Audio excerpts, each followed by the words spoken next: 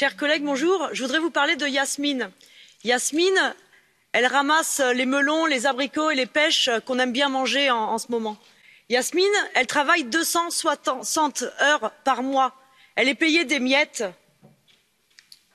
elle a des journées sans pause alors quand elle veut manger elle est obligée de se cacher dans les toilettes. yasmine elle est malade elle a une sclérose en plaques à cause de toutes ces années passées à travailler dans ces conditions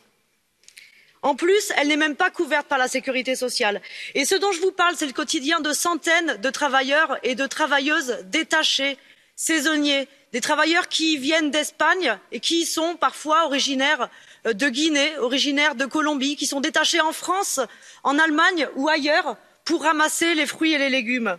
La crise du covid dix neuf a exacerbé les difficultés qui sont vécues par ces travailleurs exploités qui souvent ont été hébergés pendant cette crise dans des conditions de misère extrême propices à la propagation du coronavirus. l'exploitation de ces hommes et de ces femmes